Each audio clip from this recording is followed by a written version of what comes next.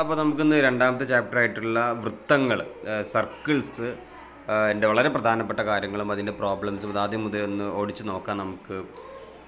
നമുക്ക് വൃത്തങ്ങൾ എന്ന് പറയുന്ന അല്ലെങ്കിൽ സർക്കിൾ എന്ന് പറയുന്ന ചാപ്റ്ററിൽ നമ്മൾ ആദ്യമായിട്ട് ചർച്ച ചെയ്യുന്നത് ഒരു വൃത്തത്തിന്റെ വ്യാസം വൃത്തവും വ്യാസവും കോണും തമ്മിൽ എന്താണ് ബന്ധം എന്നുള്ളതാണ്. അപ്പോൾ ഒരു വൃത്തത്തിൽ അതിന്റെ കേന്ദ്രത്തിലൂടെ വരക്കുന്ന വരയാണ് എന്ത് പറയുന്നത്? വ്യാസം അഥവാ ഡയാമീറ്റർ എന്ന് പറയുന്നത്. അപ്പോൾ ഇതാണ് ഇതിന്റെ എന്തെന്ന് പറയുന്നത്? ഡയാമീറ്റർ ആയിട്ട് നമുക്ക് കണക്കൂട്ടാം. ഇങ്ങനെ ഡയാമീറ്റർ നമ്മൾ ഈ വൃത്തം എന്ന് പറയുന്ന ഈ രണ്ടാമത്തെ ചാപ്റ്ററിൽ നമ്മൾ പഠിക്കുന്നത് മുഴുവൻ വൃത്തത്തിലുള്ള കോണുകളുമായിട്ടുള്ള ബന്ധം കോണുകളുടെ ബന്ധത്തെ കുറിച്ചിട്ടാണ്. അപ്പോൾ ഇവിടെ ഡയാമീറ്റർ വരച്ചിട്ടുണ്ട്. ഈ ഡയാമീറ്ററിന്റെ രണ്ട് അറ്റങ്ങൾ രണ്ട് അറ്റങ്ങൾ വൃത്തത്തിലെ ഏതെങ്കിലും ബിന്ദുവുമായി വൃത്തത്തിലെ ഏതെങ്കിലും ഒരു പോയിന്റുമായി ജോയിൻ ചെയ്ത് അവിടെ ഉണ്ടാക്കുന്ന ഒരു ആംഗിൾ ഈ ആംഗിൾ എപ്പോഴും എന്തായിരിക്കും? നയന്റി ഡിഗ്രി ആയിരിക്കും.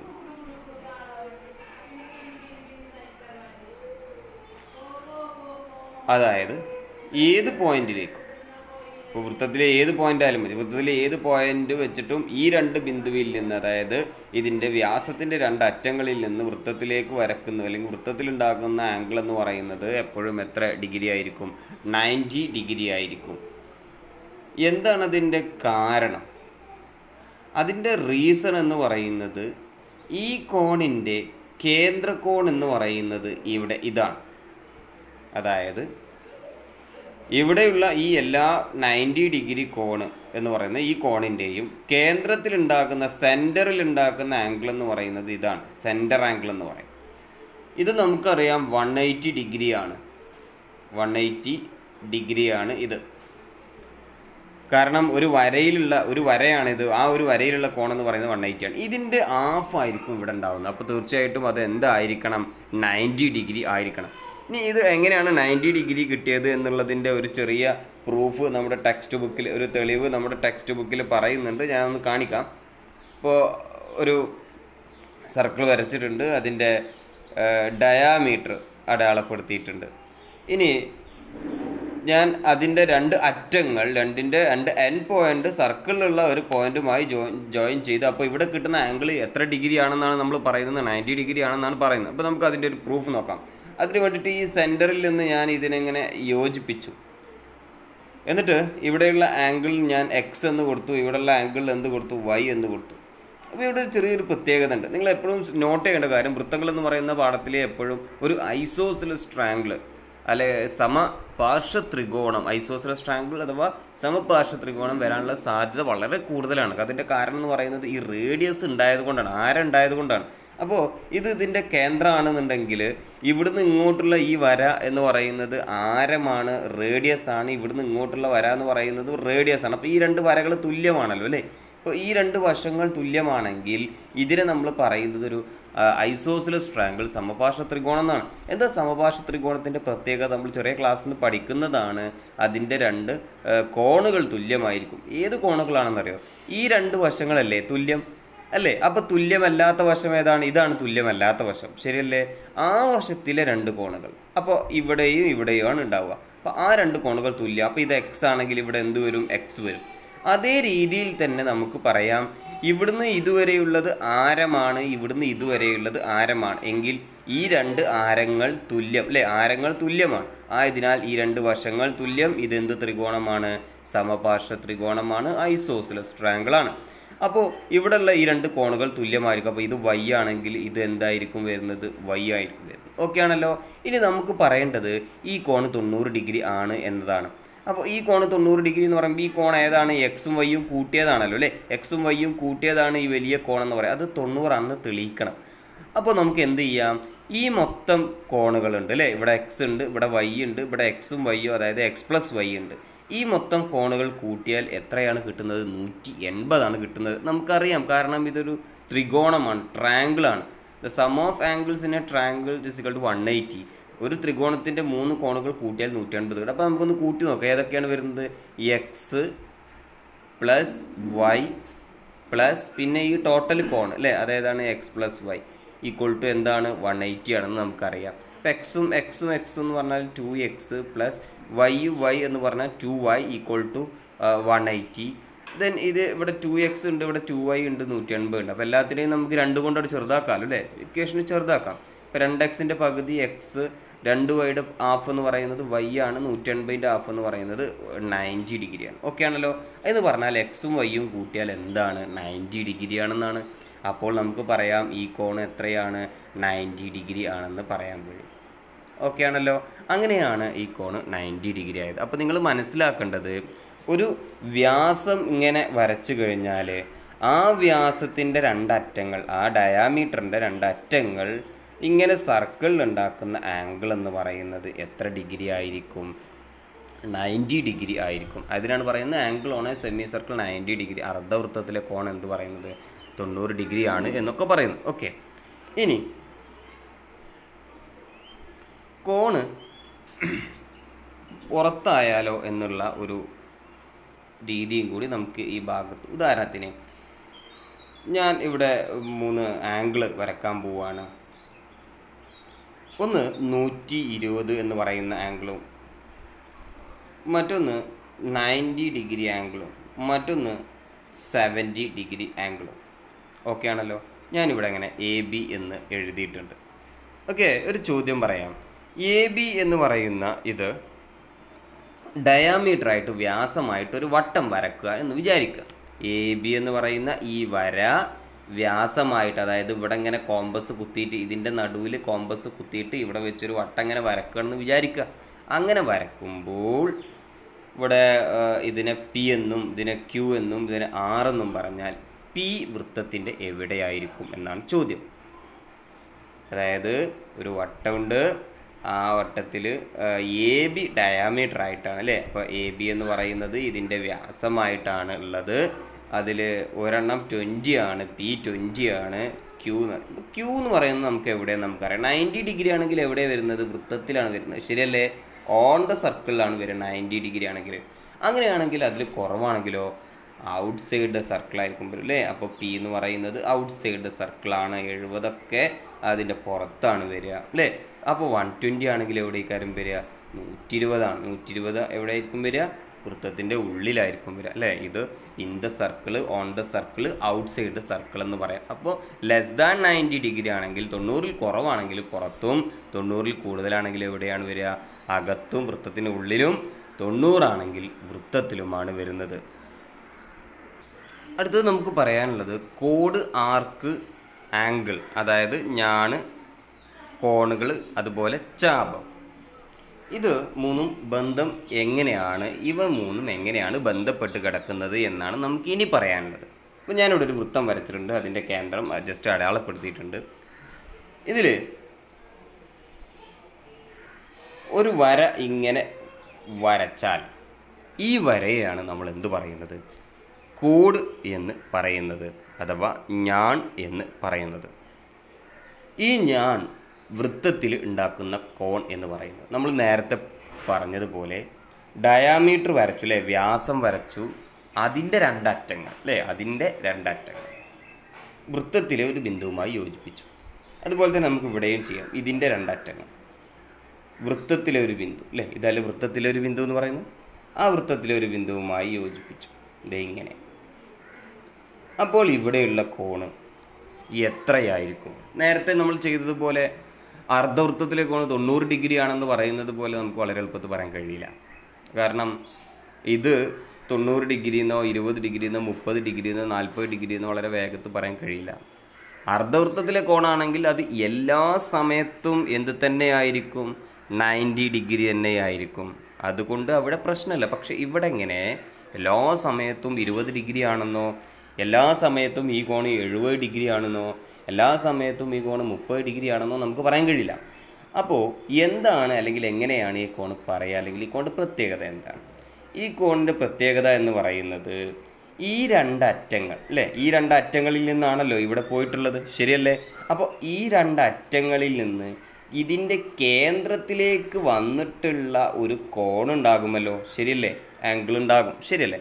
അപ്പോൾ ഈ രണ്ട് അറ്റങ്ങളിൽ നിന്ന് ഇതിന്റെ കേന്ദ്രത്തിലേക്ക് വന്നിട്ടുള്ള ഒരു ആംഗിൾ തീർച്ചയായിട്ടും ഉണ്ടാകും. ആ ആംഗിൾ എന്താണോ ഉള്ളത് അതിന്റെ പകുതിയായിരിക്കും ഇവിടെ ഉണ്ടാകുന്നത്. ഇവിടെ നൂറ് ഡിഗ്രി ആണെങ്കിൽ ഇത് എന്തായിരിക്കും? അൻപത് ഡിഗ്രി ആയിരിക്കും ഇതാണ് ഇവർ തമ്മിലുള്ള ബന്ധമെന്ന് പറയുന്നത്. അപ്പോൾ എല്ലാ ഇവിടെ ഒരു ആംഗിൾ അടയാളപ്പെടുത്തിയത് നാൽപ്പതാണെന്ന് പറയാൻ പറ്റില്ല. ഇവിടെ കേന്ദ്രകോണം എത്രയാണോ അതിനനുസരിച്ചാണ് നമ്മൾ ഇവിടെയുള്ള ആംഗിൾ പറയാം. ഇനി നോക്കൂ അപ്പോൾ ഈ രണ്ട് അറ്റത്തിൽ നിന്ന് അതായത് ഇവിടുന്ന് ഞാൻ ഇങ്ങനെ വന്നു ഇവിടെ തട്ടി അവിടുന്ന് ഈ പോയിന്റിലേക്ക് വന്നാൽ ഈ ആംഗിൾ എത്ര തന്നെ ആയിരിക്കും അൻപത് ഡിഗ്രി തന്നെ ആയിരിക്കും കാരണം ഇതെല്ലാം തന്നെ വന്നിട്ടുള്ളത് ഈ ഞാണിൽ നിന്നാണ് അല്ലേ? അപ്പോൾ ഒരേ ഞാണിൽ നിന്ന് അല്ലേ? ഒരേ ഞാണിൽ നിന്ന് വരുന്ന വൃത്തത്തിലേക്ക് വരക്കുന്ന കോണുകൾ ഉണ്ടാകുന്ന കോണുകളുടെ കോണുകൾ എന്ന് പറയുന്നത് ഒരേ കോണായിരിക്കും അല്ലേ? കോണുകൾ ഒരേ ആംഗിൾ ആയിരിക്കും ഉണ്ടാകുന്നത് അല്ലേ ഒരേ തുല്യമായിരിക്കും ഉണ്ടാകുന്നത് എന്ന് നമുക്ക് മനസ്സിലാക്കാം. ദേ ഇവിടുന്ന് ഇവിടെ തട്ടി അവിടുന്ന് നേരെ ഇതിലൂടെ ഇവിടെ എത്തി അല്ലേ അപ്പോൾ അതും എത്ര ഡിഗ്രി തന്നെ ആയിരിക്കും? അൻപത് ഡിഗ്രി തന്നെ ആയിരിക്കും. കാരണം അതിന്റെ കേന്ദ്രകോൺ എത്ര ഡിഗ്രിയാണ്? നൂറ് ഡിഗ്രിയാണ് എന്ന് നമുക്ക് മനസ്സിലാക്കാം. ഇതിനൊരു പ്രൂഫൊക്കെ പറയുന്നുണ്ട്. ആ പ്രൂഫൊന്നും എക്സാമിന് ചോദിക്കലില്ല. എന്നാലും ജസ്റ്റ് നിങ്ങൾക്ക് പഠിച്ച കാര്യങ്ങളൊന്ന് ജസ്റ്റ് ഒന്ന് ഓർമ്മപ്പെടുത്തി കാണിച്ചു തരാം. നേരത്തെ നമ്മൾ പഠിച്ച രീതിയിൽ തന്നെയാണ് അത് ചെയ്യുന്നത്. ഇപ്പം ഞാനിവിടെ ഒരു ഞാണ് അഥവാ കോഡ് വരച്ചിട്ടുണ്ട്. കേന്ദ്രത്തിലേക്ക് ഒരു കോണ് അടയാളപ്പെടുത്തി അതുപോലെ തന്നെ ഈ ഭാഗത്തേക്കും ഒരു കോണ് അടയാളപ്പെടുത്തി. നമുക്ക് തെളിയിക്കേണ്ടത് ഈ കോണിന്റെ പകുതിയാണ് ഇവിടെയുള്ള കോണ് എന്നാണ് തെളിയിക്കേണ്ടത്. ഓക്കെ ആണല്ലോ? അപ്പോൾ ഞാൻ ഇവിടെയുള്ള കോണിന് എന്തെടുത്തു? ഒരു സി എന്ന് പറയുന്ന ഒരു പേര് കൊണ്ട് അടയാളപ്പെടുത്തി. എന്ത് വേണമെങ്കിലും നമുക്ക് കൊടുക്കാം. ജസ്റ്റ് പ്രൂഫ് ചെയ്യാണ്. ഇനി നമ്മൾ നേരത്തെ നമ്മൾ അർദ്ധവൃത്തത്തിൽ തെളിയിച്ചതുപോലെ കേന്ദ്രത്തിൽ നിന്ന് ഇവിടുന്ന് ഒരു വിഭജിച്ചു. എന്നിട്ട് ഈ ഭാഗത്തെ എക്സ് എന്നും ഈ ഭാഗത്തെ എന്തും കൊടുത്തു വൈ എന്നും നമ്മൾ നേരത്തെ ചെയ്തിട്ടുണ്ട് അതേപോലെ തന്നെ. അപ്പോൾ ഇവിടെ നേരത്തെ പറഞ്ഞതുപോലെ തന്നെ ഇവിടുന്ന് ഇങ്ങോട്ട് വരക്കുന്നത് റേഡിയസ് ഇവിടുന്ന് ഇങ്ങോട്ട് വരക്കുന്നത് റേഡിയസ് കാരണം ഇത് കേന്ദ്രമാണ്. അപ്പോൾ ഇവിടുന്ന് ആരോ ഇവിടുന്ന് ആരാണെങ്കിൽ ഈ രണ്ടെണ്ണം തുല്യം. ഈ രണ്ട് വശങ്ങൾ തുല്യമാണെങ്കിൽ ഈ രണ്ട് കോണുകൾ തുല്യമായിരിക്കും. അപ്പോൾ ഇത് എക്സ് എടുത്തു അല്ലേ? അതുപോലെ തന്നെ ഈ രണ്ട് വശങ്ങൾ തുല്യമാണ് ഡ്യൂ ടു ദ റേഡിയസ് ആരം കൊണ്ട് തുല്യമായതിനാൽ ഇത് വൈ ആണെങ്കിൽ ഇത് എന്തായിരിക്കും? വൈ ആയിരിക്കും. ഓക്കെ ആണല്ലോ? ഇനി ഇതുമായിട്ട് ബന്ധപ്പെടുത്തണം അല്ലേ? ഇതിന്റെ പകുതിയാണ് ഈ എക്സ് പ്ലസ് വൈ എന്ന് നമുക്ക് എന്ത് ചെയ്യണം? പ്രൂവ് ചെയ്യണം. അതിനുവേണ്ടി ഈ ഭാഗത്തിലേക്ക് ജസ്റ്റ് ഒന്ന് വന്നാൽ മാത്രം മതി. ഇത് എക്സും ഇത് എക്സും ആണെങ്കിൽ ഇവിടെയുള്ള കോൺ എത്രയായിരിക്കും എന്ന് ജസ്റ്റ് ഒന്ന് കണ്ടുപിടിക്കുക. എക്സും എക്സും ആണെങ്കിൽ ഇത് എത്രയാണ്? ഇത് മൂന്നും കൂടി കൂട്ടിക്കഴിഞ്ഞാൽ നൂറ്റി എൺപത് കിട്ടുമ്പോൾ ഇത് എക്സ് എക്സ് എന്ന് പറഞ്ഞു കഴിഞ്ഞാൽ എത്രയായി രണ്ട് എക്സ് ആയില്ല? അപ്പോൾ ഈ നൂറ്റി എൺപത് കുറച്ചാൽ മതി. അപ്പോൾ one eighty minus two x എന്നായിരിക്കും. അപ്പോൾ ഇതെന്തായിരിക്കും വരുന്നത്? One eighty minus two y എന്ന് കിട്ടും. ഓക്കെ ആണല്ലോ? ഇനി ഈ മൂന്ന് കോണും കൂടി കൂട്ടിയാൽ എന്താണ് കിട്ടുന്നത്? മൂന്ന് കോണും കൂടി കൂട്ടിയാൽ മുന്നൂറ്ററുപതാണെന്ന് നമുക്കറിയാം. ഒരു വൃത്തത്തിലെ കോൺ എന്ന് പറയുന്നത് മുന്നൂറ്ററുപത് ത്രീ സിക്സ്റ്റിയാണ് അല്ലേ? സർക്കിളിലെ ആംഗിൾ എന്ന് പറയുന്നത് ത്രീ സിക്സ്റ്റിയാണ് അപ്പം മൂന്നും കൂടി കൂട്ടാം. നമുക്ക് ഏതൊക്കെയാണ് ഇവിടെ കൂട്ടുന്നത്? ആംഗിൾ സി പ്ലസ് പിന്നെ ഏതാണ് നൂറ്റി എൺപത് മൈനസ് രണ്ട് എക്സ് പിന്നെ നൂറ്റി എൺപത് മൈനസ് രണ്ട് വൈ ഈക്വൾ ടു എത്രയാണ്? ത്രീ സിക്സ്റ്റി മുന്നൂറ്റി അറുപത് ആണെന്ന് നമുക്ക് പറയാം. ഇതിൽ നൂറ്റൻപത് നൂറ്റൻപത് ഉണ്ട് അല്ലേ? നൂറ്റൻപത് നൂറ്റൻപത് കൂട്ടുകയാണ് ചെയ്യുന്നത് അല്ലേ? കൂട്ടിയാൽ എത്ര കിട്ടും? മുന്നൂറ്ററുപത്. ആ മുന്നൂറ്ററുപത് നേരെ അപ്പുറത്ത് കൊണ്ടുപോയാൽ മൈനസ് മുന്നൂറ്ററുപതാവും. അപ്പോൾ മുന്നൂറ്ററുപത് നൂറ്ററുപത് സീറോ ആയി അല്ലേ? അപ്പോൾ ബാക്കി എന്തൊക്കെ ഉണ്ടാവുന്നത് ആംഗിൾ സി ഉണ്ട്. പിന്നെ എന്തുണ്ട് മൈനസ് ടു എക്സ് ഉണ്ട്. അതുപോലെ എന്തുണ്ട്? മൈനസ് ടു വൈ ഉണ്ട്. ഈക്വൽ ടു നൂറ്റൻപത് നൂറ്റൻപത് മുന്നൂറ്ററുപത്. അങ്ങോട്ട് പോകുമ്പോൾ മുന്നൂറ്ററുപത് മൈനസ് മുന്നൂറ്റി അറുപത് അതായത് angle C minus two x minus two y equal to zero ഇനി മൈനസ് ടു വൈ ടു എക്സും മൈനസ് ടു വൈ നേരെ അപ്പുറത്ത് കൊണ്ടുപോകും. അപ്പോൾ angle C equal to two x ഈ മൈനസ് ആണ് പ്ലസ് അല്ലേ? Minus two y plus two y എന്നായിട്ട് മാറും. അല്ലേ? ഇവിടുന്ന് നമുക്ക് എന്ത് പറയാം? Angle C equal to two പുറത്ത് കിട്ടാൽ two into x plus y ഇതാണ് നമ്മുടെ ഉത്തരം എന്ന് പറയുന്നത്. അതായത് എക്സ് പ്ലസ് വൈ എന്ന് പറയുന്നതിനെ രണ്ട് കൊണ്ട് ഗുണിച്ചതാണ് സി ശരിയല്ലേ? അല്ലേ? ഇതിന്റെ ഇരട്ടിയല്ലേ ഇത്? അല്ലേ? അപ്പോൾ ആംഗിൾ സി എന്ന് പറയുന്നത് ഇത് രണ്ടും കൂടി കൂട്ടിയതിന്റെ ഇരട്ടിയാണ് എന്ന് നമുക്ക് തെളിയിക്കാൻ പറ്റും. ഈ തെളിവ് വെച്ചിട്ടാണ് പിന്നീട് നമ്മൾ അങ്ങോട്ട് ബാക്കിയുള്ള ചോദ്യങ്ങളൊക്കെ ചെയ്യുന്നത്. ഇപ്പോൾ എന്താണ് ആ തെളിവ് വെച്ച് നമ്മൾ ചെയ്യുന്നത്? അപ്പോൾ ആദ്യം പറഞ്ഞതുപോലെ ഒരു സർക്കിളിൽ ഒരു സർക്കിളിൽ ഒരു കോഡ് വരച്ചു. ആ കോഡിന്റെ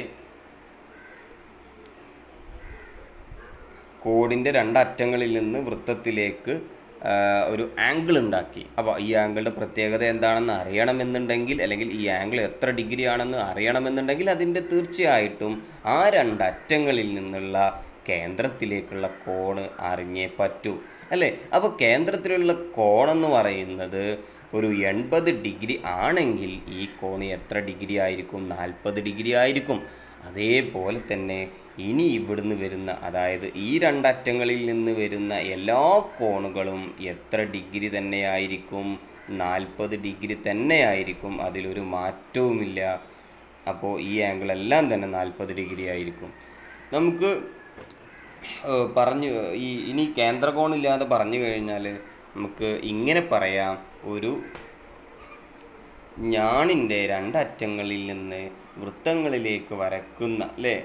വൃത്തങ്ങളിലേക്ക് വരക്കുന്ന എല്ലാ കോണുകളും തുല്യമായിരിക്കും. എല്ലാ കോണുകളും തുല്യമായിരിക്കും. ഇത് ഇരുപത് ഡിഗ്രി ആണെങ്കിൽ ഈ കോൺ എത്ര ഡിഗ്രിയാണ് ഇരുപത് ഡിഗ്രി. ഇവിടെയും ഇരുപത് ഡിഗ്രി. ഇവിടെയും ഇരുപത് ഡിഗ്രി ആയിരിക്കും. എന്താണ് കാരണം? എന്ന് വെച്ചാൽ എന്താണ് അതിന്റെ കാരണം? അതിനൊരു കേന്ദ്രകോൺ ഉണ്ടായിരിക്കും കേന്ദ്രത്തിലേക്ക് വരുന്നൊരു കോണുണ്ടായിരിക്കും. ആ കോണ് എത്ര ഡിഗ്രി ആയിരുന്നിരിക്കണം? നാൽപ്പത് ഡിഗ്രി ആയിരുന്നിരിക്കണം അല്ലേ? ഇതിന്റെ ഇരട്ടിയായിരിക്കും. അപ്പോൾ ഇത്തരത്തിലുള്ള ചോദ്യങ്ങൾ ആണ് ആദ്യ ഭാഗത്ത് ഉണ്ടാകുന്നത്. നമ്മളിപ്പോൾ പഠിച്ചതുമായി ബന്ധപ്പെട്ടിട്ടുള്ള മൂന്ന് ചോദ്യങ്ങൾ ഞാനിവിടെ എഴുതിയിട്ടുണ്ട്. നമുക്കൊന്ന് കണ്ടുപിടിക്കാം. ഇതിന്റെ എല്ലാ ആംഗിൾസും ഒക്കെ എന്താ? ഇവിടെ ഒന്നാമത്തെ ചോദ്യത്തിൽ ഇവിടെയുള്ള ആംഗിൾസ് എല്ലാം തന്നെ ഒന്ന് കണ്ടുപിടിക്കണം. ഇപ്പോൾ ഇവിടെ നേരത്തെ പറഞ്ഞതുപോലെ എപ്പോഴും ശ്രദ്ധിക്കണം വൃത്തത്തിൽ ഐസോസിലസ് അതായത് സമപാർശ്വ ത്രികോണങ്ങൾ ഉണ്ടായിരിക്കും അധികവും. കാരണം അത് ആരം റേഡിയസ് ഉള്ളത് കൊണ്ടാണ്. അപ്പോൾ ഇവിടുന്ന് ഇവിടുന്ന് ഇതുവരെയുള്ളത് റേഡിയസ് ആണ് ഇവിടുന്ന് ഇതുവരെയുള്ളത് റേഡിയസ് ആണ് ആരമാണ് അപ്പോൾ ഈ രണ്ടെണ്ണം തുല്യമാണ്. രണ്ട് വശങ്ങൾ തുല്യമായാൽ അതിനെയാണ് നമ്മൾ സമപാർശ്വ ത്രികോണം അല്ല അഥവാ ഐസോസിലസ് എന്ന് പറയുന്നത്. അങ്ങനെ രണ്ട് വശങ്ങൾ തുല്യമാണെങ്കിൽ അതിന്റെ രണ്ട് കോണുകളും തുല്യമായിരിക്കും. ഏത് രണ്ട് കോണുകളാണ് തുല്യമാവുക നമ്മൾ പറഞ്ഞു കഴിഞ്ഞു. ഈ രണ്ട് വശങ്ങൾ തുല്യമാണ്. അപ്പോൾ തുല്യമല്ലാത്ത വശം എന്ന് പറയുന്നത് ഇതാണ്. അതിലെ രണ്ട് കോണുകളാണ് തുല്യം. അപ്പോൾ ഇത് ഇരുപതാണെങ്കിൽ ഇവിടെ എത്ര കിട്ടും? ഇരുപത് അപ്പോൾ ഇരുപത് ട്വന്റിന്ന് എഴുതാം. അതുപോലെ തന്നെ ഇതേ രീതിയിൽ തന്നെ ഇവിടുന്ന് ഇതുവരെയുള്ളത് ആരം ഇവിടുന്ന് ഇതുവരെയുള്ളത് ആരം. അപ്പോൾ ഈ രണ്ട് വശങ്ങൾ തുല്യം. അപ്പോൾ ഇതൊരു സമപാർശ്വ ത്രികോണം ഐസോസിലസ് വൺ. അപ്പോൾ ഇത് നാൽപ്പതാണെങ്കിൽ ഇവിടെയുള്ള കോണ് നാൽപ്പത്. ഓക്കെ ആണല്ലോ അപ്പോൾ ഇത് ഈ വലിയ കോണെന്ന് പറയുമ്പോൾ ഇത് ഇരുപതും നാൽപ്പതും അറുപതായിട്ട് മാറും. അപ്പോൾ ഈ വലിയ കോൺ അറുപത് ഡിഗ്രി ആയിട്ട് മാറും ഇവിടെയുള്ള ഈ കോണ് പോലെയാണ് നമ്മളിപ്പോൾ ഇത് ചെയ്തിട്ടുള്ളത്. നമ്മൾ മുകളിൽ പഠിച്ചതുപോലെ. അപ്പോൾ ഇത് അറുപത് ഡിഗ്രി ആണെങ്കിൽ ഇവിടെയുള്ള കോണാണ്. ഇപ്പോൾ നമ്മളിപ്പോൾ കണ്ടുപിടിച്ചത് അറുപത് ഡിഗ്രി എന്നായിട്ട്. അപ്പോൾ ഇത് അറുപത് ഡിഗ്രി ആണെങ്കിൽ അതിന്റെ കേന്ദ്രത്തിലുള്ളത് എത്രയായിരിക്കും നമ്മൾ പഠിച്ചു? അതിന്റെ ഇരട്ടിയാണ് നമ്മൾ പഠിച്ചു അല്ലേ? അപ്പോൾ ഇത് അറുപത് ഡിഗ്രി ആണെങ്കിൽ അതിന്റെ കേന്ദ്രത്തിൽ എത്രയായിരിക്കും വരുന്നത്? നൂറ്റി ഇരുപത് ഡിഗ്രി ആയിരിക്കും വരുന്നത്. ഓക്കെ ഇത് ഒന്നാമത്തെ ചോദ്യമാണ്. രണ്ടാമത്തെ ഒരു ചോദ്യം എന്ന് പറയുന്നത് വളരെ എളുപ്പത്തിൽ നമുക്ക് ഇവിടെ ചെയ്തു. ഇവിടെ എൺപത് ഡിഗ്രി എന്ന് തന്നിട്ടുണ്ട് നിങ്ങൾക്ക് ഇവിടെ. ഇവിടെയുള്ള കോണം എൺപത് ഡിഗ്രി തന്നിട്ടുണ്ട് അങ്ങനെയാണ് എന്നുണ്ടെങ്കിൽ ഇവിടെയുള്ള ആംഗിൾ എത്രയാണ്? ഇവിടെയുള്ള ആംഗിൾ എത്രയായിരിക്കും വരുന്നത്? എൺപതിന്റെ ഇരട്ടി എന്ന് പറയുന്നത് എത്രയാണ്? നൂറ്റി അറുപത് ശരിയല്ലേ? ഇനി ഇത് നൂറ്ററുപതാണെങ്കിൽ ഈ രണ്ട് കോണുകൾ എത്ര ഡിഗ്രി വീതമാണ്? ഇവിടെയും നമുക്ക് എന്ത് ചെയ്യാം? സമവാർഷ ത്രികോണങ്ങൾ ഐസോസിലസ് ട്രാങ്കിൾസ് കാണാൻ പറ്റും. ഇവിടുന്ന് ഇങ്ങോട്ട് വരക്കുന്നത് ആരം ഇവിടുന്ന് ഇങ്ങോട്ട് വരക്കുന്ന ആരം അതായത് റേഡിയസ് അപ്പോൾ രണ്ട് തുല്യം.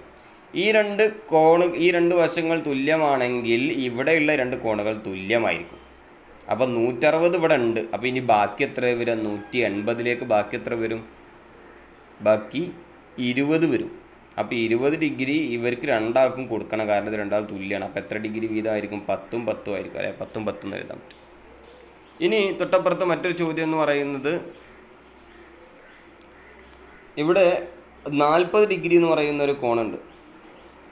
ഈ കോൺ എവിടുന്നാ വരുന്നത്? ഈ കോൺ ഇതാ ഇവിടുന്ന് നേരെ ഇവിടുന്ന് അല്ലേ ഇവിടുന്ന് ഇവിടുന്നാണ് വരുന്നത് ഈ കോണെന്ന് പറയുന്നത്. അതുപോലെ ഇവിടുന്ന് വരുന്നുണ്ട്. അപ്പോൾ ഈ കോഡിൽ നിന്ന് ഈ ഞാണിൽ നിന്നാണ് ഈ കോൺ വരുന്നത്. അപ്പം നാൽപ്പത് ഡിഗ്രിയാണ് എങ്കിൽ ഈ ഞാണിൽ നിന്ന് കേന്ദ്രത്തിലേക്ക് വരുന്ന കോൺ എന്തായിരിക്കും വരുന്നത്? നാൽപ്പതിന്റെ എന്തായിരിക്കും വരിക? ഇരട്ടിയായിരിക്കും അവർ എൺപത് കിട്ടും.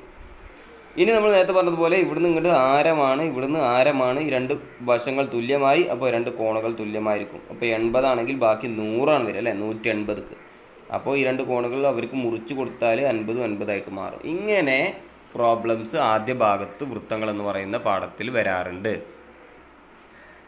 മുകളിൽ പറഞ്ഞ ചോദ്യവുമായി ബന്ധപ്പെട്ട ഒരു പ്രധാനപ്പെട്ട കൺസ്ട്രക്ഷനാണ് ചിത്രം വരക്കുന്നതാണ് ഇനി പറയുന്നത്. അപ്പോൾ അതൊന്ന് ശ്രദ്ധിക്കണം.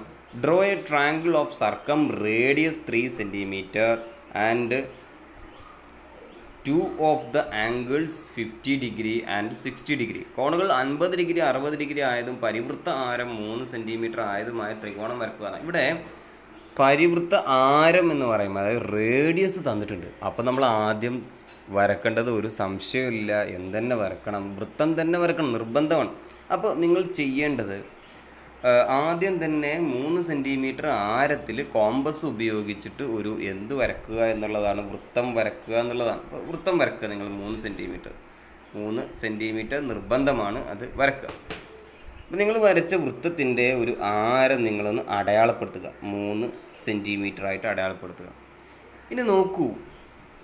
സർക്കം റേഡിയസ്. നിങ്ങൾ ഒമ്പതാം ക്ലാസ്സിൽ പഠിച്ചാണെങ്കിൽ സർക്കം സർക്കിൾ എന്ന് പറഞ്ഞാൽ എന്താ സർക്കം സർക്കിൾ എന്ന് പറഞ്ഞാൽ സർക്കിളിന്റെ ഉള്ളിൽ ഒരു ട്രയാങ്കിൾ വരക്കുന്നത് എങ്ങനെ വരക്കണം എല്ലാ മൂലകളും ആ സർക്കിളിൽ ടച്ച് ചെയ്തിട്ട് വരക്കണം അല്ലേ? ഇപ്പോൾ ഞാനിവിടെ റഫായിട്ട് നിങ്ങൾക്കൊന്ന് വരച്ച് കാണിച്ചു തരാം. അപ്പോൾ നിങ്ങൾ വരക്കേണ്ടത് ഇങ്ങനെയാണ്. ട്രയാങ്കിൾ ഇങ്ങനെ വരക്കണം പക്ഷേ ആ ട്രയാങ്കിളിന് ഒരു പ്രത്യേകത ഉണ്ട്. അതിന്റെ കോണുകൾ എന്തായിരിക്കണം? അൻപത് ഡിഗ്രിയും അറുപത് ഡിഗ്രിയും ആയിരിക്കണം എന്ന് വളരെ നിർബന്ധമാണ്. അതിനാണ് നിങ്ങൾക്ക് മാർക്കുള്ളത് അപ്പോൾ ഇവിടെ അൻപത് ഡിഗ്രി വരണമെന്നുണ്ടെങ്കിൽ അതിന്റെ കേന്ദ്രകോണം എത്ര എടുത്താൽ മതി? നൂറ് ഡിഗ്രി എടുത്താൽ മതി. അല്ലാതെ നിങ്ങൾക്ക് പൊട്ടാക്ടർ വെച്ചിട്ട് ഇവിടെ ഒരു അൻപത് ഡിഗ്രി എടുക്കാൻ കഴിയില്ല. അൻപത് ഡിഗ്രി എടുത്താൽ ഇവിടെ അറുപത് ഡിഗ്രി കിട്ടണമെന്നില്ല. അപ്പോൾ ഈ അൻപത് ഡിഗ്രി ഇവിടെ വരണമെന്നുണ്ടെങ്കിൽ അതിന്റെ കേന്ദ്രത്തിൽ നൂറ് ഡിഗ്രി എടുത്താൽ മതി. അതായത് ഇരട്ടി എടുത്താൽ മതി. നമ്മൾ അതാണ് നമ്മൾ കുറച്ച് മുമ്പ് പഠിച്ചത്. അതുപോലെ തന്നെ ഇവിടെ അറുപത് കിട്ടണം എന്നുണ്ടെങ്കിൽ ഇതിന്റെ കേന്ദ്രകോൺ എന്ന് പറയുമ്പോൾ നേരെ ഇവിടെ ഇങ്ങനെയാണ് വരിക. അല്ലേ? ഇതാണ് ഇതിന്റെ കേന്ദ്രകോൺ എന്ന് പറയുന്നത്. അപ്പോൾ ഇത് എത്ര ഡിഗ്രി എടുത്താൽ മതി? നൂറ്റി ഇരുപത് എടുത്താൽ മതി. അപ്പോൾ അൻപത് ഡിഗ്രി കിട്ടണം കിട്ടണമെന്നുണ്ടെങ്കിൽ നൂറ് ഡിഗ്രി എടുക്കണം. ഇരട്ടി എടുക്കണം കേന്ദ്രത്തിൽ അറുപത് ഡിഗ്രി എടുക്കണമെങ്കിൽ കേന്ദ്രത്തിൽ നൂറ്റി ഇരുപത് എടുക്കണം. അങ്ങനെയാണെങ്കിൽ പൊട്ടാക്ടർ വെക്കുക. പൊട്ടാക്ടർ വെച്ചതിന് ശേഷം നമ്മൾ ആദ്യം അൻപത് ഡിഗ്രി എടുക്കുമ്പോൾ അതിന്റെ നൂറ് ഡിഗ്രി ഏകദേശം ഒരു നൂറ് ഡിഗ്രി എന്ന് പറയുമ്പോൾ ഇതാ ഈ രൂപത്തിൽ വരും നൂറ് ഡിഗ്രി എടുക്കുക. അതിനുശേഷം എന്ത് ചെയ്യുക? അറുപത് കിട്ടാൻ വേണ്ടിയിട്ട് നൂറ്റി ഇരുപത് എടുക്കുക പൊട്ടാക്ടറുടെ വെക്കുക. ശേഷം നൂറ്റി ഇരുപത് ഏകദേശം നൂറ്റി ഇരുപത് ഇങ്ങനെ വരും നൂറ്റി ഇരുപത് എടുക്കുക. ഇനി നിങ്ങൾ അത് ജോയിൻ ചെയ്യുക. സ്കെയിൽ ഉപയോഗിച്ചിട്ട് കൂട്ടി യോജിപ്പിച്ച് കഴിഞ്ഞാൽ നിങ്ങൾക്ക് ഈ പറഞ്ഞ ചിത്രം കിട്ടി. അപ്പോൾ ഇത് നൂറ്റി ഇരുപത് ഡിഗ്രി ആണെങ്കിൽ ഇപ്പോൾ ഇതാണ് ആ ഞാണെന്ന് പറയുന്നത് അല്ലേ? ആ ഞാണിന്റെ രണ്ടറ്റങ്ങൾ കേന്ദ്രവുമായി യോജിപ്പിച്ച് കഴിഞ്ഞാൽ ആ ഞാണിന്റെ രണ്ടറ്റങ്ങൾ വൃത്തത്തിൽ ഇങ്ങനെ യോജിപ്പിക്കുന്ന കോണം എന്ന് പറയുന്നത് ഇവിടെയാണ്. ഇത് മൊത്തം. ഇത് എത്രയാണ്? ഇത് അറുപത് ഡിഗ്രി വരും അല്ലേ? നൂറ്റി ഇരുപതിന്റെ പകുതി വരും. അതേ രൂപത്തിൽ തന്നെ ഇവിടെ നൂറ് ഡിഗ്രി ആണെന്നുണ്ടെങ്കിൽ ഇവിടെ ഈ ഒരു കോണത്ര ഡിഗ്രി വരും? അൻപത് ഡിഗ്രി അപ്പോൾ നമ്മൾ പറഞ്ഞ കാര്യങ്ങളൊക്കെ നമുക്ക് എന്തായി സാറ്റിസ്ഫൈ ചെയ്തു. ആ ഭാഗത്ത് ഒരു ഒരു ചോദ്യം വരുന്നു എന്ന് നിങ്ങളൊന്ന് ശ്രദ്ധിക്കണം. ഇവിടെ ഞാനൊരു വൃത്തം വരച്ചിട്ടുണ്ട്. എ ബി എന്ന് പറയുന്ന ഒരു ഞാണും വരച്ചിട്ടുണ്ട്. ഇത് ഡയമീറ്റർ അല്ല വ്യാസമല്ല ഒരു ഞാണ് വരച്ചിട്ടുണ്ട്. അതിന് പെർപ്പൻഡിക്കുലർ ആയിട്ട് അതായത് ലംബമായിട്ട് മറ്റൊരു ഞാണും ഞാൻ വരച്ചിട്ടുണ്ട്. നോക്കൂ സി ഡി എന്നാണ് അതിന് പേര് കൊടുത്തത്. സി ഡി എന്ന് പറയുന്ന മറ്റൊരു ഞാണും വരച്ചിട്ടുണ്ട്. ഇപ്പോൾ നിങ്ങൾക്ക് ഇവിടെ കിട്ടിയത് ഇവിടുന്ന് മുതൽ ഇതുവരെയുള്ളതിനെ നമ്മൾ ചാപം എന്നാണ് പറയുന്നത്. ഈ ഭാഗത്ത് നമ്മൾ ചാപം എന്ന് പറയുന്നത്. ഒമ്പതാം ക്ലാസ്സിൽ നമ്മൾ പഠിക്കുന്നതാണ് ചാപം അല്ലെങ്കിൽ ആർക്ക് എന്നൊക്കെ പഠിക്കുന്നതാണ്. അപ്പോൾ ഇവിടെ ഞാനൊരു ഇത് മനസ്സിലാക്കാൻ വേണ്ടിയിട്ട് ഇവിടെ പേര് കൊടുക്കാം. ഇവിടെ പി എന്ന് കൊടുത്തു ഇവിടെ ക്യൂ എന്ന് കൊടുത്തു. ഓക്കെ ആണെങ്കിൽ ഇപ്പോൾ നമുക്ക് എന്ത് പറയാം? എ പി ഡി എന്ന് പറയുന്ന ഒരു ചാപം ആർക്ക് അതുപോലെ സി ക്യു ബി എന്ന് പറയുന്ന ആർക്ക് അല്ലേ? രണ്ട് ചാപങ്ങളാണുള്ളത്. ഒന്ന് എ പി ഡി എന്ന് പറയുന്ന ഈ ഒരു ചാപവും മറ്റൊന്ന് സി ക്യു ബി എന്ന് പറയുന്ന ഈ ഒരു ചാപവും ആണുള്ളത്. അല്ലേ? നിങ്ങൾ തെളിയിക്കേണ്ടത് ഈ ചാപവും എ പി ഡി എന്ന് പറയുന്ന ചാപവും സി ക്യു ബി എന്ന് പറയുന്ന ഈ ചാപവും കൂട്ടിച്ചേർത്താൽ എന്താവും എന്ന് പറയണം? ഒരു അർദ്ധവൃത്താവും എന്ന് പറയണം. അല്ലേ? എന്താവും എന്ന് പറയണം? ഒരു അർദ്ധവൃത്തം ആവും എന്ന് പറയണം. ഇത് ഇങ്ങോട്ട് വെട്ടിയെടുത്തിട്ട് ഇത് ഇങ്ങോട്ട് വെട്ടിയെടുത്ത് കൂട്ടി യോജിപ്പിച്ചാൽ എന്നല്ല അതിനർത്ഥം. ഈ രണ്ട് ചാപങ്ങളും കൂടി കൂടി ചേർന്നാൽ എന്ത് പറയണം? ഒരു അർദ്ധവൃത്തമാവും എന്ന് പറയണം. അതായത് ഈ ഒരു ചാപവും പിന്നെ ഈ ഒരു ചെറിയ ചാപത്തിന്റെ കഷ്ണവും കൂടി വന്നാൽ ഇതുവരെ വന്നാൽ അതെന്താവും എന്ന് പറയണം. ഒരു അർദ്ധവൃത്തമാവും എന്ന് പറയണം. എപ്പോഴാണ് അർദ്ധവൃത്തമാവുക? അർദ്ധവൃത്തം അർദ്ധവൃത്തം എന്ന് പറയുമ്പോൾ ഇതാണല്ലോ അർദ്ധവൃത്തം സെമി സർക്കിൾ എന്ന് പറയുന്നത്. സെമി സർക്കിൾ എപ്പോഴാവുക? കേന്ദ്രകോൺ എന്താവുമ്പോഴാണ്? നൂറ്റി എൺപത് ഡിഗ്രി ആവുമ്പോഴാണ് എന്തായിട്ട് മാറുക? സെമി സർക്കിളായിട്ട് മാറുക. അപ്പോൾ ഇത്ര തെളിയിച്ചാൽ മതി നിങ്ങൾ. എ പി ഡി എന്ന് പറയുന്ന ഇതിന്റെ കേന്ദ്രത്തിന്റെ കോണും സി ക്യു ബി എന്ന് പറയുന്ന കേന്ദ്രത്തിന്റെ കോണം കൂടി കൂട്ടിയാൽ എന്ത് കിട്ടിയാൽ മതി? വൺ എയ്റ്റി ഡിഗ്രി കിട്ടിയാൽ മതി. അപ്പോൾ അത് എളുപ്പമാണ്. അപ്പോൾ ഞാൻ ഇവിടെ ഇങ്ങനെ ഒരു കേന്ദ്രം വരച്ചു അല്ലേ? ഇവിടെ ആയിരിക്കും ഏകദേശം കേന്ദ്രം ഉണ്ടാവുമെന്ന് വിചാരിക്കാം അപ്പോൾ ഈ എ പി ഡിയുടെ കേന്ദ്രകോൺ എന്ന് പറയുമ്പോൾ എയിൽ നിന്നും ഡിയിൽ നിന്നും ഇങ്ങനെ വരക്കുന്നതാണ് അല്ലേ? ഈ കേന്ദ്രത്തിലേക്ക് ഇങ്ങനെ വരക്കുന്നതിനാണ് അതിന്റെ കേന്ദ്രകോൺ എന്ന് പറയുന്നത്. ശരിയാണല്ലോ? അതുപോലെ സി ക്യു ബിയുടെ കേന്ദ്രകോണം എന്ന് പറയുന്നത് സിയിൽ നിന്നും ബിയിൽ നിന്നും കേന്ദ്രത്തിലേക്ക് വരക്കുന്ന അപ്പോൾ അതായത് ഇവിടുന്ന് ഇങ്ങനെ കേന്ദ്രത്തിലേക്ക് വരച്ചു ഇവിടുന്ന് ഇങ്ങനെ കേന്ദ്രത്തിലേക്ക് വരച്ചു.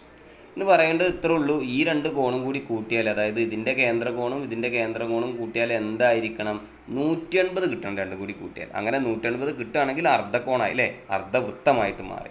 ഓക്കെ നമുക്കൊന്ന് ജസ്റ്റ് ഒന്ന് ചെയ്ത് നോക്കാം.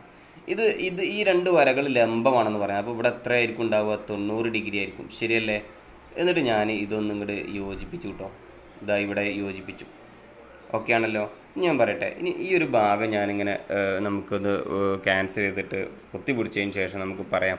ഇവിടെ ഞാൻ അടയാളപ്പെടുത്തിയ കോണുണ്ട് ഓക്കെ ആണല്ലോ? ഇവിടെ അടയാളപ്പെടുത്തിയൊരു കോണുണ്ട് ഓക്കെ അപ്പോൾ ഈ കോണ് ഞാനിവിടെ തന്നെ എക്സ് എന്ന് കൊടുത്തു. എക്സ് അല്ലേ? അപ്പോൾ ഇവിടെയുള്ള ഈ കോൺ എന്തായിരിക്കും? ഇത് കേന്ദ്ര കോണാണല്ലോ അല്ലേ? ഈ കേന്ദ്ര കോൺ എന്ന് പറയുന്നത് എ ഡി എന്ന് പറയുന്ന എയിൽ നിന്നും ഡിയിൽ നിന്നുമാണ് ഈ കേന്ദ്രത്തിലേക്കുള്ള ഈ കോൺ എക്സ് ഉണ്ടായിട്ടുള്ളത്. അങ്ങനെയാണെങ്കിൽ എയിൽ നിന്നും ഡിയിൽ നിന്നും ഈ വൃത്തത്തിലേക്ക് പോകുന്ന ഈ കോൺ അതായത് എ സി ഡി എന്ന് പറയുന്ന ഈ കോൺ എത്ര ഡിഗ്രി ആയിരിക്കും? അതിന്റെ പകുതി ആവണമല്ലോ അല്ലേ? ഇപ്പോൾ പകുതി ആണെങ്കിൽ എന്തായിട്ട് വരും? എക്സ് ബൈ ടു ആയിട്ട് വരും. ശരിയല്ലേ? എക്സ് ബൈ ടു എന്ന് വരും. അതുപോലെ തന്നെ ഇതിന്റെ കേന്ദ്രകോണ് സി ക്യു ബി എന്ന് പറയുന്ന ഇതിന്റെ കേന്ദ്രകോണ് ഞാൻ വൈ എന്നെടുത്തു. അല്ലേ? വൈ എന്നെടുത്തു. അങ്ങനെയാണെങ്കിൽ ഞാൻ ഇതിവിടെ ക്യാൻസൽ ചെയ്ത് ഇങ്ങനെ പൊത്തിപ്പിടിച്ച് കഴിഞ്ഞാൽ നിങ്ങൾക്ക് നോക്കൂ. സി ക്യു ബി എന്ന് പറയുന്ന ഈ ചാപത്തിന്റെ ഈ ആർക്കിന്റെ കേന്ദ്രകോൺ അതായത് സിയിൽ നിന്നും ബിയിൽ നിന്നും പോകുന്നതല്ലേ? അതേ സിയിൽ നിന്നും ബിയിൽ നിന്നും വൃത്തത്തിലേക്ക് പോകുന്ന കോൺ ഏതാണ്? ദേ പോകുന്നു കണ്ടോ? സി എ ബി അതായത് ഈ വലിയ കോൺ എന്ന് പറയുന്നത്. ഇത് എത്ര ഡിഗ്രി ആയിരിക്കും വരുന്നത്? ഇത് വൈ ആണെങ്കിൽ ഇവിടെ എന്താണ്? വൈ ബൈ ടു ഓക്കെ ആണല്ലോ. നമ്മൾ ഉത്തരത്തിലേക്ക് നമ്മൾ എത്താറായി. അപ്പോൾ നമുക്ക് കിട്ടുന്നത് എക്സും വൈയും കൂട്ടിയാൽ എന്ത് കിട്ടണം? വൺ എയ്റ്റി ഡിഗ്രി എന്ന് കിട്ടണം. ഓക്കെ ഇത് നയന്റി ഡിഗ്രി ആണല്ലോ. ശരിയല്ലേ? ഇത് നയന്റി ഡിഗ്രി ആണല്ലോ. അപ്പോൾ ഈ ഒരു ചെറിയ ത്രികോണം എടുത്താൽ ട്രാങ്കിൾ എടുത്തു കഴിഞ്ഞാൽ ഇത് 90 ആണ്. അപ്പോൾ ഇത് രണ്ടും കൂടി കൂട്ടിയാൽ എന്തായിരിക്കണം? നയന്റി ആയിരിക്കണം. ഇത് രണ്ടും കൂടി കൂട്ടിയാൽ നയന്റി ആകും. കാരണം ഇത് 90 ആണ്. മൂന്നും കൂടി കൂട്ടിയാൽ വൺ എയ്റ്റി കിട്ടണ്ടേ? അപ്പോൾ ഇത് രണ്ടും കൂടി കൂട്ടിയാൽ നയന്റി. അതായത് y by two plus x by two equal to എന്താണ് വരുന്നത്? നയന്റി ആണ് വരുന്നത്. ഓക്കെ ആണല്ലോ? അങ്ങനെയാണെങ്കിൽ വൈ ബൈ ടുവും എക്സ് ബൈ ടു നയന്റി ആണെങ്കിൽ വൈയും എക്സും കൂട്ടിയാൽ എന്തേക്കാരം വരിക? അതിന്റെ ഇരട്ടിയാണ് വരിക. എത്രയായിരിക്കും വരിക? വൺ എയ്റ്റി ചെയ്യുന്നത് ഈ ബൈ ടു എന്ന് പറയുന്നത് നേരെ അങ്ങോട്ട് കൊണ്ടുപോയിട്ട് ഇന്റി ടു ഒക്കെ അപ്പോൾ വൈയും എക്സും കൂട്ടിയാൽ വൺ എയ്റ്റി ഡിഗ്രി കിട്ടി. അപ്പോൾ നമുക്കറിയാം ഈ എക്സും വൈയും കൂട്ടിയാൽ വൺ എയ്റ്റി ആണ് ആയതിനാൽ ഇതെന്താണ്? ഈ രണ്ട് എ പി ഡി എന്ന് പറയുന്നതും സി ക്യു ബി എന്ന് പറയുന്ന ചാപങ്ങൾ കൂട്ടിക്കഴിഞ്ഞാൽ എന്ത് കിട്ടുന്നു? അർദ്ധവൃത്തമാകുന്നു എന്ന് നമുക്ക് മനസ്സിലാക്കാം. ഇനി നമുക്ക് പറയാനുള്ളത് ചക്രീയ ചതുർഭുജം അതായത് സൈക്ലിക് കോട്ടിലാറ്ററിലാണ് അത് അത് പിന്നെ അത് ചാപങ്ങൾ കൂട്ടിമുട്ടുമ്പോൾ എന്ന് പറയുന്ന കുറച്ച് ചിത്രം വരക്കാനുള്ള ഇത്രയും കാര്യങ്ങളാണ് ഇതിൽ പറയാനുള്ളത്. പിന്നെ നമുക്ക് കുറച്ച് പ്രൂവ് ചെയ്യാനുള്ള ക്വസ്റ്റ്യൻസും ഉണ്ട്. ഇതിന്റെയോടൊപ്പം ചെയ്യാം. അടുത്ത ഭാഗം നിങ്ങൾ നോക്കുക. നിങ്ങളുടെ ഫ്രണ്ട്സിന് പരമാവധി ഷെയർ ചെയ്യുക.